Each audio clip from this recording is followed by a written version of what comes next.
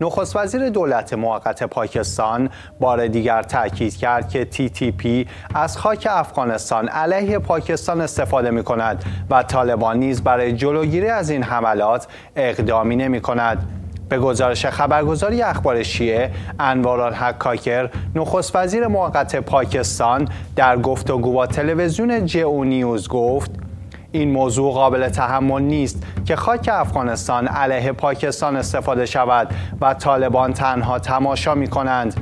کاکر گفت طالبان می دانند افراد تحریک طالبان پاکستان تی تی پی از کجا بر ضد پاکستان عملیات انجام می دهند. کاکر همچنین تصریح کرده بود که مشکلات با افغانستان زمانی کاهش می‌یابد که کابل یک حکومت قانونی داشته باشد طالبان در واکنش به این اظهارات تاکید کرده بود. روابط افغانستان و پاکستان زمانی بهتر خواهد شد که افراد هوشیار در پاکستان روی کار آیند و تصریح کرد افغانستان مسئول ناکامی امنیتی پاکستان نیست.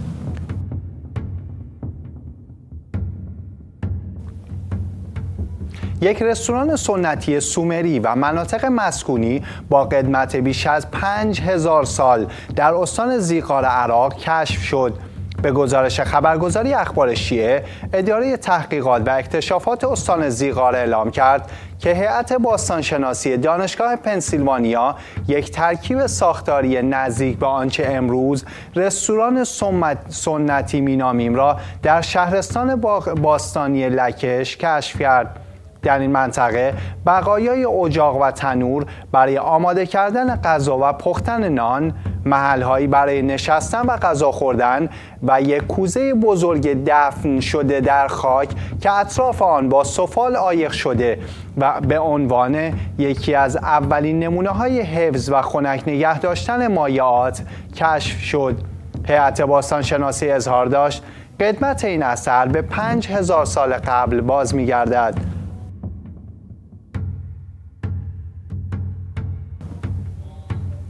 به گزارش اخبار شیعه به نقل از فرانس 24 سه قایق حامل بیش از 500 پناهجوی روهینگیایی روز یک شنبه در آچه غربی ترین استان اندونزی در محلی که یکی از بزرگترین گروه های آوارگان روهینگیایی را در خود جای داده پهلو گرفتند.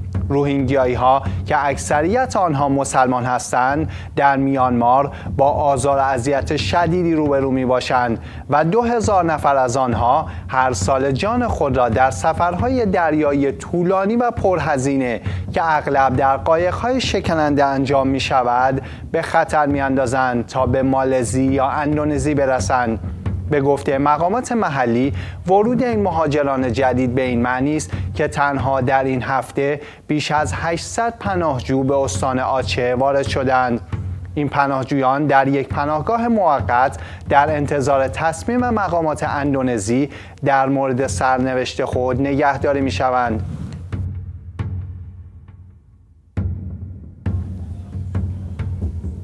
به گزارش خبرگزاری اخبار شیعه به نقل از آناتولی در پی انفجار بمب در شهر کویت در ایالت بلوچستان پاکستان دست کم سه تن کشته و 20 نفر نیز زخمی شدند. مقامات محلی از انفجار بمب در کنار یکی از خیابانهای شهر کویت خبر دادند. مقامات امنیتی عامل انتحاری را علت احتمالی این انفجار معرفی کردند. گفتنی است ولسوالی گچ و مناطق اطراف آن سالهاست که از خشونت رنج می‌برد در پایان شایان ذکر است گروه های شورشی مسئولیت حمله به نیروهای امنیتی و اهداف غیر نظامی را در ماهای اخیر بر عهده گرفتند.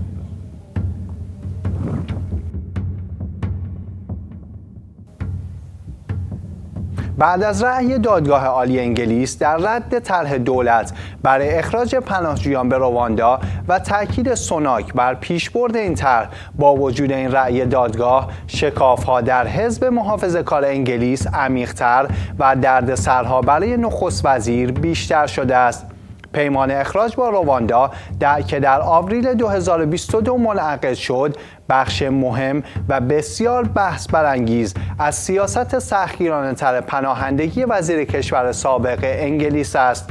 اولین پرواز اخراج در آخرین لحظه توسط دادگاه حقوق بشر اروپا در استراسبورگ بیش از یک سال پیش متوقف شد که خشم دولت بریتانیا را برانگیخت. این طرح با انتقادات شدید در داخل و خارج مواجه شد کمیساریای عالی سازمان ملل متحد در امور پناهندگان این اقدام برنامه ریزی شده را به عنوان نقض قوانین بین المللی محکوم کرد.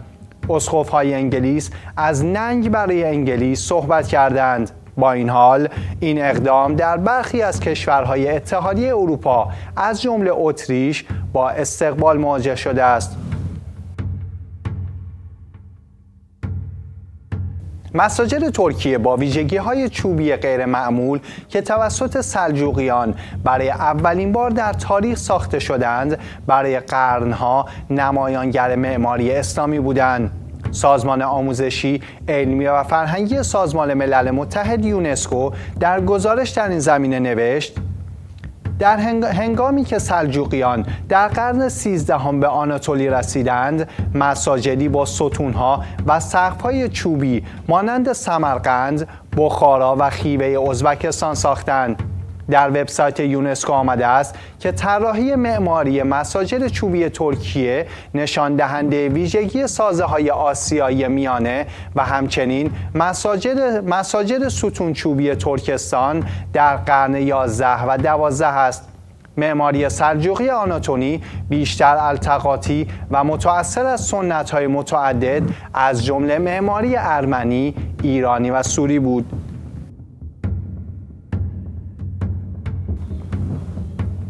یک گزارش تحقیقی تازه نشان می دهد که خشونت های آنلاین علیه زنان افغانستان پس از تسلط طالبان افزایش یافته است. یافته های این گزارش که از سوی افغانستان افغان ویتنس نشر شده نشان می دهد که پست های توهین آمیز در فضای مجازی در سال 2022 نسبت به سال 2021 سه برابر افزایش یافته است.